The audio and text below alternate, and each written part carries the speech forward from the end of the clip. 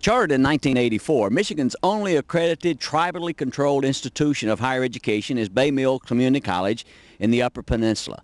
We're visiting with the president, Dr. Martha McLeod. Dr. McLeod, tell us, how did this get started uh, in 1984?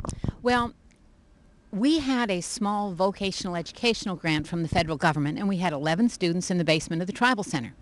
Uh, the tribal uh, government then thought that we should try to form a tribally controlled college. We went through uh, a needs assessment with the Bureau of Indian Affairs. Um, we passed the needs assessment, we got funding, and we're chartered in 1984. Since then, we've had a more than 200% growth rate, and we've gone from 11 students to more than 600. And uh, we are fully accredited by the North Central Association of Colleges and Schools. Tell us a little bit about the governing board because it is, uh, I, I, gather, a governing board selected from the tribes.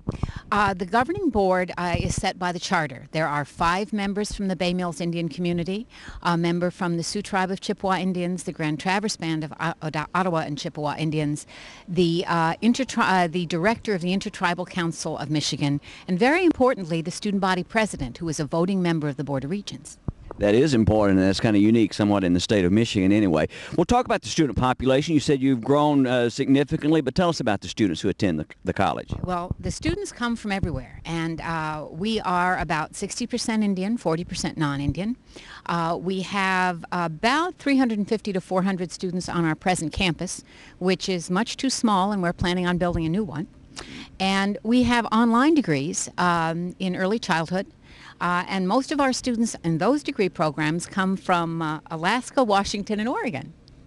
So the student body is diverse and spread out all over the country. Mm-hmm. Now you're a two-year institution. You offer both academic parallel as well as career-oriented programs? Absolutely. We have partnerships with uh, four-year institutions such as Ferris State University, and students can come to Bay Mills Community College and get their K-8 teaching certification, 100 credits from Bay Mills, 30 from Ferris State University, and you have your K-8 teaching certification and a bachelor's degree for under $15,000.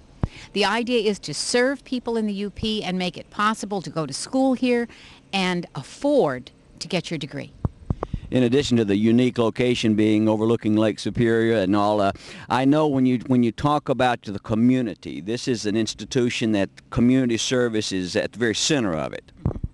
Uh, one of our um, charters from the tribe is cultural preservation. And we have the Ojibwe Language Institute offered every summer where people immerse for six weeks to relearn the Ojibwe language. And the students from that institute wrote a book which was published last year called Jingamuk, which is a one-year curriculum for people teaching Ojibwe in the public school system. It's really neat.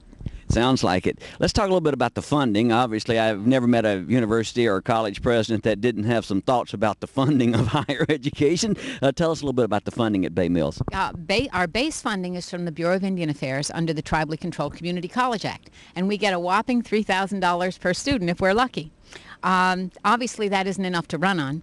And so we have tuition, and then, like most colleges and universities in the state of Michigan, we go to grants and foundations for funds. We have been very successful.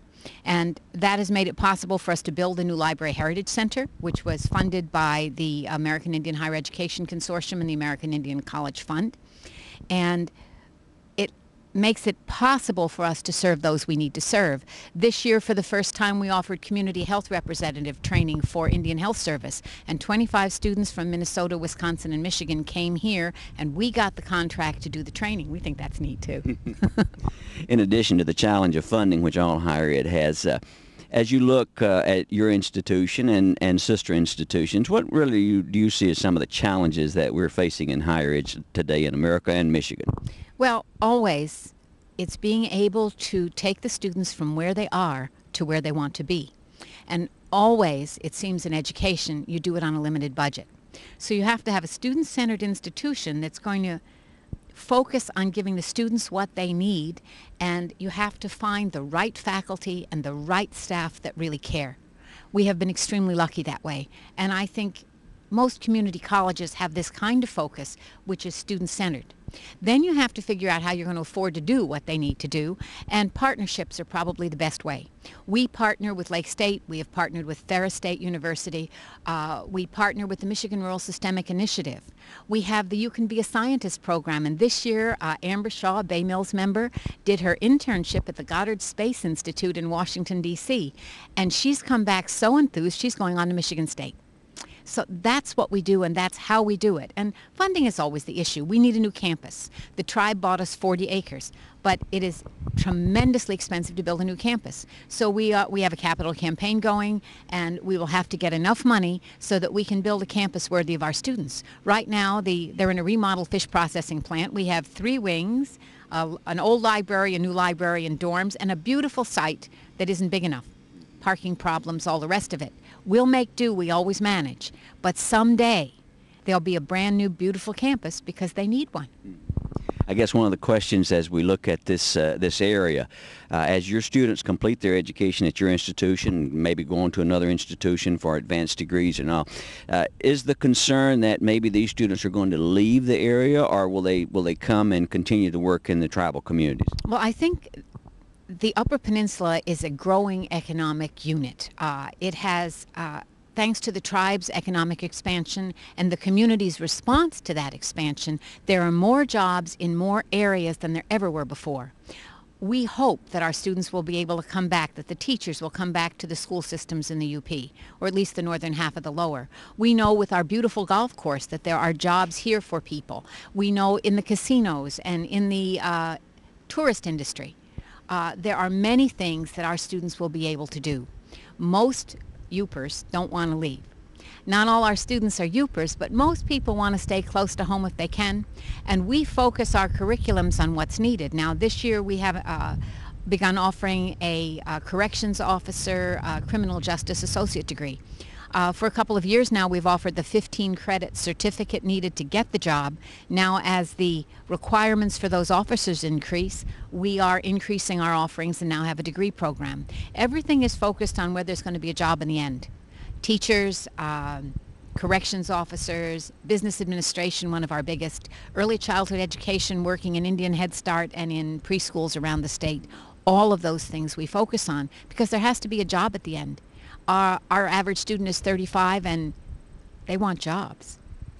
While we said that Bay Mills is the only uh, tribally controlled institution of higher learning in the state of Michigan, are there a lot around the United States that are tribally controlled? Well, there are other tribally controlled um, institutions starting up in Michigan, but they're not yet accredited. There are 30 other tribal colleges nationwide. They spread from Bay Mills, which is the easternmost tribal college, to Northwest Indian College in the state of Washington, which is the farthest west. As part of the American Indian Higher Education Consortium, we work together so that our students who are a unique group and our institutions are unique, uh, so that we can grow together to meet those needs of the students. All tribal colleges serve all peoples. And so we are open to everyone. Well, it's very obvious, uh, President McLeod, that you not only look on this as a job, but a passion. You certainly have some very strong, passionate feelings about this. Listen, when you come to Bay Mills, and if you'd like a job doing adjunct instruction, come and see me. uh, the thing is, you actually know what happens to your students here. I can tell you where every graduate is working. I can tell you where they're going to school.